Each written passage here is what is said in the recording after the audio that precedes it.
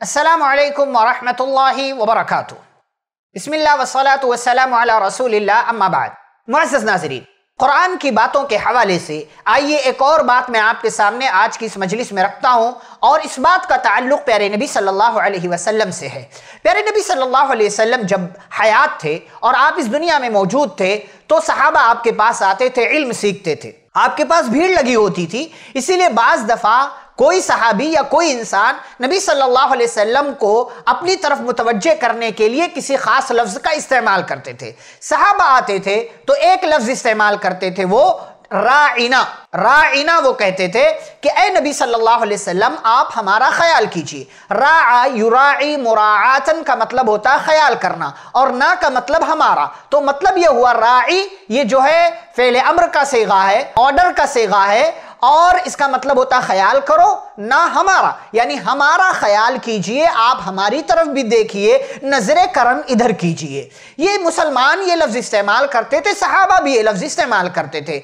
यहूदी, जिनको नबी सल्लल्लाहु अलैहि वसल्लम से चिड़ थी, जिनको नबी सल्लल्लाहु अलैहि वसल्लम से तासुब था, जो नबी सल्लल्लाहु अलैहि वसल्लम से हसद किया करते थे, ये यहूदी जब आते थे नबी सल्लल्लाहु अलैहि वसल्लम के पास, और कोई बात होती थी, कोई मसला होता था, कोई सवाल होता था तो नबी करीम सल्लल्लाहु अलैहि वसल्लम को अपनी तरफ़ मुतवजह करने के लिए वो भी यही लफ्ज इस्तेमाल करते थे, लेकिन चूँकि उनके जहनों में फतूर था और वो गलत तरीका इख्तियार करते हुए नबी करीम सल्लल्लाहु अलैहि वसल्लम को राइना, यानी हमारा ख्याल कीजिए, ये कहने के बजाय कहते थे राइना राइना, यानी राइना, जल्दी से बोलने के बजाय वो कहते थे राइना।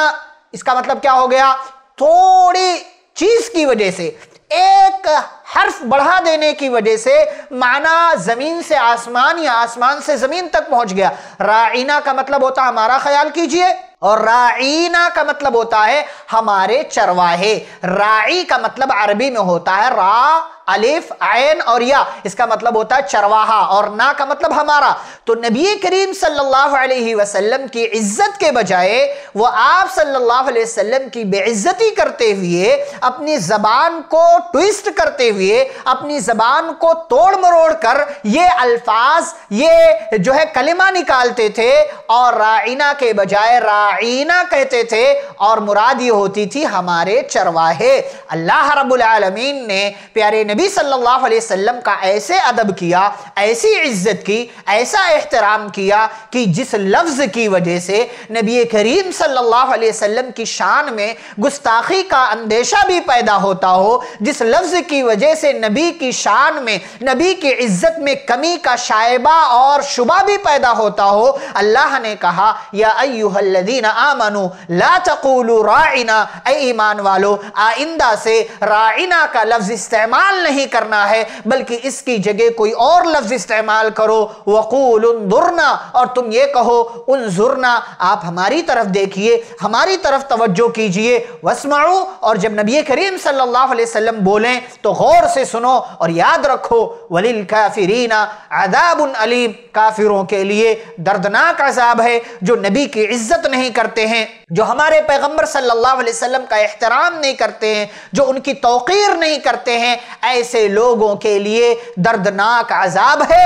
ए ईमान वालो, इस लफ्ज के इस्तेमाल से अपने आप को बचाओ। मेरे भाई और बुज़ुर्गों, ये नबी करीम सल्लल्लाहु अलैहि वसल्लम का मकाम है। अल्लाह रब्बुल आलमीन उनका एहतराम करते हुए उस लफ्ज के इस्तेमाल से मुसलमानों को मना कर रहा है, जिस लफ्ज के इस्तेमाल की वजह से नबी करीम सल्लल्लाहु अलैहि वसल्लम की शान में गुस्ताखी का अंदेशा भी पैदा होता हो। ऐसे एहतराम, ऐसी इज़्ज़त, ऐसी तोकीर हमें अपने प्यारे नबी सल्लल्लाहु अलैहि वसल्लम की करना चाहिए अल्लाहुम्मा सल्ली वसल्लिम अला नबीना मुहम्मद व अला आलिहि व असहाबि अजमईन वसल्लम तस्लीमन कसीरा वस्सलामु अलैकुम व रहमतुल्लाहि व बरकातुहू ऐसे ही फ़ायदेमंद इस्लामिक वीडियोस देखने और मनहज सलफ़ पर किताब सुन्नत की तालीमत को आम करने में हमारा ताउन करें, ताकि आपके लिए ज़रिया नजात, जन्नत के हसूल का सबब, साथ ही माल में बरकत व इजाफे का ज़रिया भी बने।